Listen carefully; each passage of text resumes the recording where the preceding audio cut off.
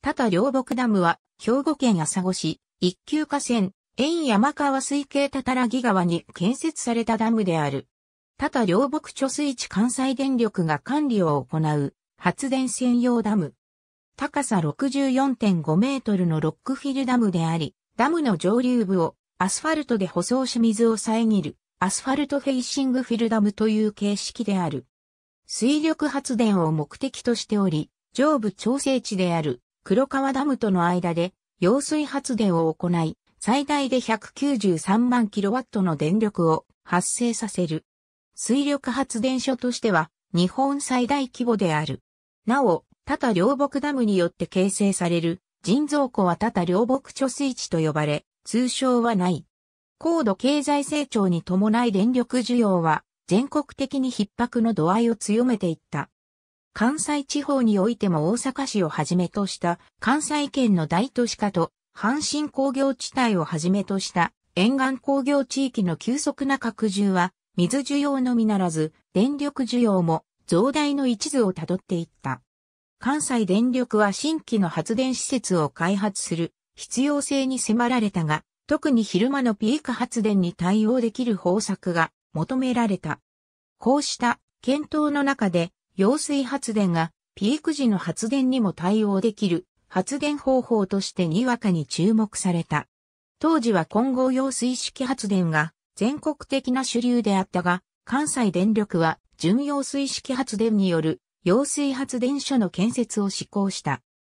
効率的に電力供給を行うべく、建設地点を大阪市から 200km 圏内、有効落差 400m が確保可能な地点を選定した結果、京都府にある京都大学圧生研究林内に上池を建設し、若狭湾を下池とした認可出力100万キロワットを有する揚水発電所が妥当として計画を進めた。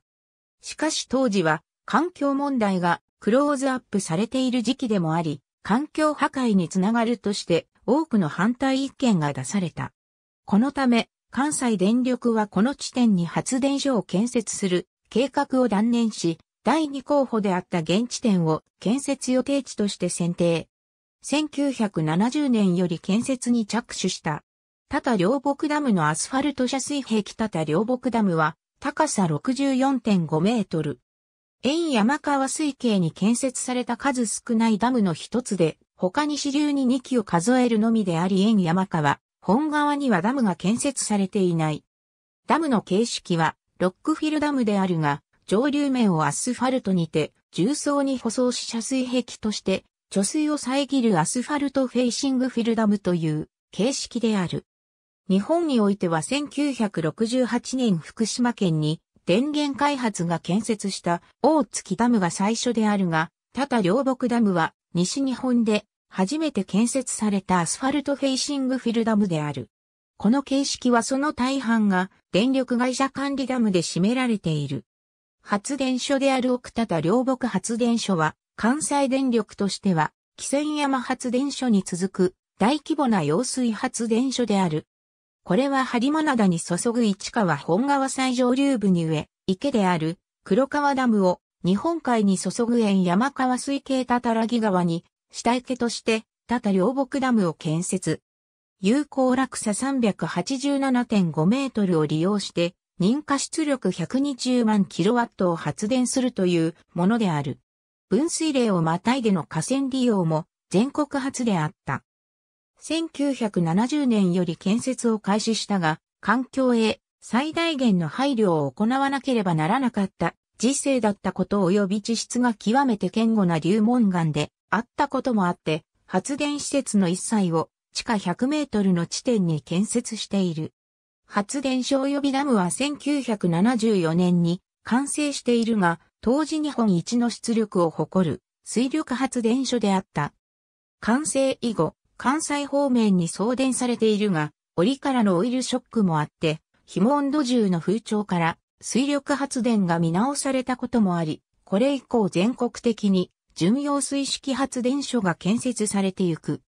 1979年には東京電力が長野県に新高瀬川発電所を建設し、これ以後100万キロワットを超える大規模な揚水発電所が相次いで建設されていった。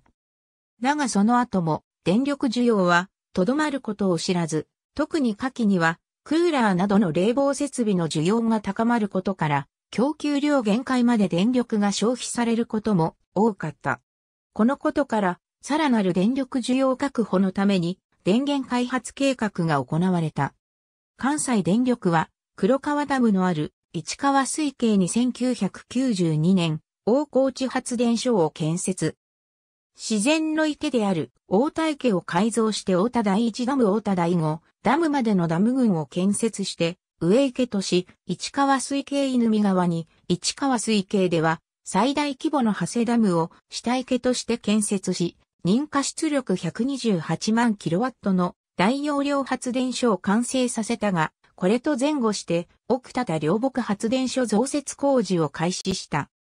季節の1号機4号機に加えて5号機と6号機を増設、70万キロワットの発電能力を増強させようとするものである。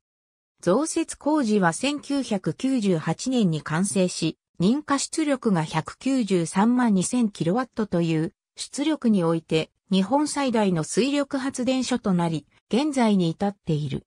なお、増設工事に際しては、施工管理の一環としてキーブロック解析が用いられた。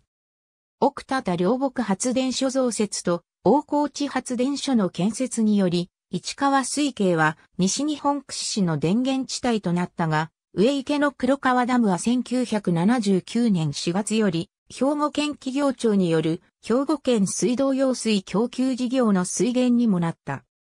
姫路市をはじめ、市川流域に上水道、工業用水の供給も行うようになり、多目的ダムとして発電のみならず、播磨西部の水亀としても重要な役割を果たしている。ダムから望む朝、五芸術の森ダム下流は、緑地公園朝、五芸術の森として整備されており、ダム直下には、その施設朝、五芸術の森美術館がある。ダム直下に美術館がある例は、全国でも極めて稀である。朝、五芸術の森には、野外彫刻公園や朝越し、朝子歴史民族資料館もあり、文化施設が多い。たたらぎ川のあぜには温泉を引いたホテルが2軒ある。上流の奥多田両木発電所は一般の見学も可能であり、予約を行えば1名から見学が可能である。毎年6月の第1日曜日にはダム湖を一周するマラソン大会が行われるが、大会当日には発電所見学ツアーも催されている。国道312号及び国道429号を経由する以外にも、ダム湖が哀愁道路から分岐する指導に進むと、上部ダムの黒川ダムに行くことができる。途中には、目の神様として有名な青宗神社がある。ダム及びダム湖周辺は、田島地域における桜の名所でもあり、千本桜として花見の名所である。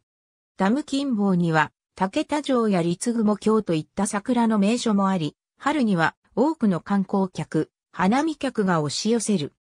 交通のアクセスも良く、万端連絡道路や国道312号を利用して、伊豆市や史跡行くの銀山、口金や幾の銀山湖、さらには姫路城などの姫路市街へもアクセス可能である。ありがとうございます。